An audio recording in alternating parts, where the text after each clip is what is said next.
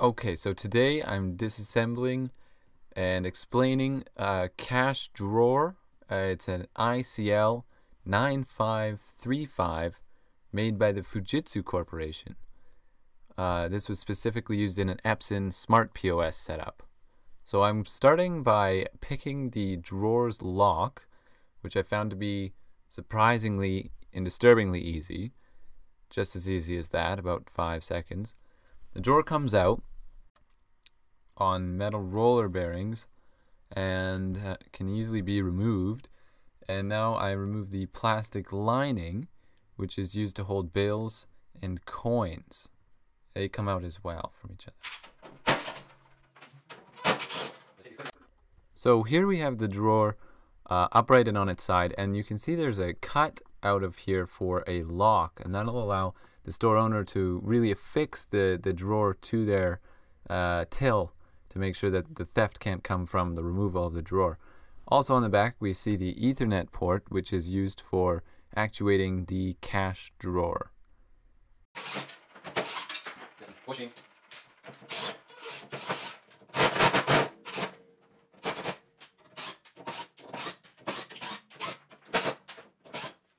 Okay, here's the bottom of the cash uh, register and I'm just removing the uh, steel cover that's on it. Now you can see that there's a small mechanism, fairly simple, and a spring. And the spring is fairly rigid, uh, only attached by one screw. Here's the solenoid and the mechanism of which that removes the drawer as well as a switch and I'll show you this more closely. Uh, the switch is used to detect when the drawer is closed. So I'm going to slide the drawer back in upside down to explain this mechanism a bit better. Uh, so the drawer is pushed in and pressed against the spring which applies outward pressure and then it clips into a rotational mechanism actuated by the solenoid uh, as you can see here. And there's the solenoid and the switch and the mechanism. And then so the drawer is going to fit and clip in with that on the uh, mechanism there and then lock in. And then there's a mechanical way to open this as well as an electronic. Uh, so I'll get you closer views of that. So here's the mechanism. I'm going to actuate the solenoid myself with my finger. This is what the electronics would be doing when they trigger that. And that's going to pull out that lock there and allow that ro rotation of the disc, which is clipping the hasp of the drawer in place. Fairly secure method. It, it's very strong.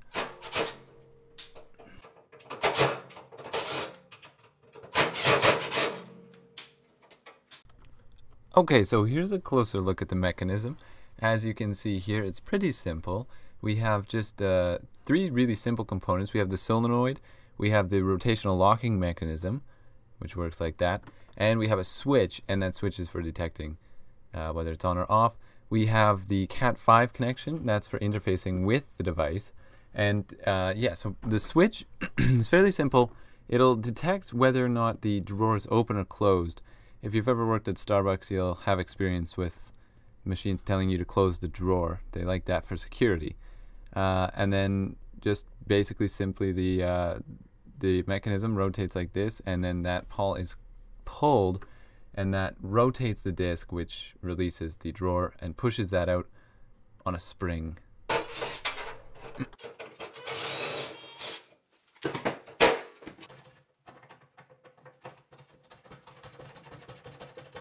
So I wanted to take a closer look at the mechanical side of the mechanism. So here there's a cable running from here all the way along the side and to the back where the key uh, goes and then when you rotate the key it moves like that. So now here's a closer look at the mechanism. So this is going to pull this which is going to pull this uh, this black piece here and that's going to move the uh, the rotational disc which is going to unlock the drawer as well. As you can see it's also pulling the solenoid when I pull that so the same action uh, electronic and uh, and mechanical just used both on that lever there. So yeah, and here are the parts again. There's a Cat5 connection, uh, and then I have the solenoid and a switch. And this switch again is going to detect when the drawer is closed or open.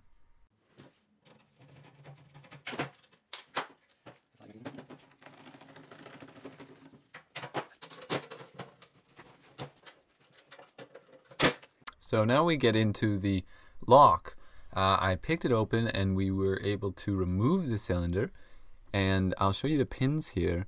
There's three pins and they're more like plates. They don't work off of a stacked system but more of a more of a level inline system. It was very very easy to pick. Um, I mentioned that at the beginning of the video, disturbingly easy. I actually just picked it with a rake, which I'll I'll show you. So just a rake and uh, and a tension wrench, and um, yeah, disturbing amount of security. How little there is. Uh, I yeah, I can see the one improvement I would make to this is is uh, as a higher security lock, as the uh, the mechanical uh, features of the the the uh, cash register.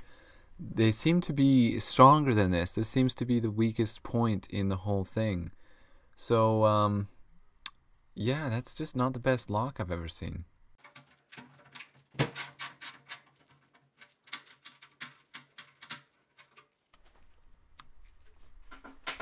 So all in all, the design of the cash drawer was extremely simple. It looks like they make, well, I don't know, thousands, hundreds of thousands a year. There's the feet in the spring. We have some folded metal, uh, folded sheet metal pieces.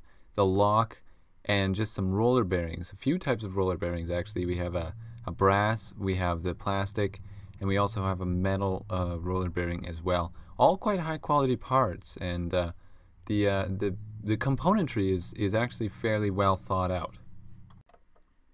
So from left to right, we have the cash drawer itself, the drawer inserts both for for bill type and coin, and we have the chassis as well as all the components and the major uh, module, which is used for the operating of the drawer. So thank you very much for watching. The last thing I'll say about it is that uh, I think that the drawer is actually quite well designed and very, very repairable. The modularity is great, and everything's designed to run smoothly for a long time. So thank you very much for watching, and uh, I hope you enjoy my films to come.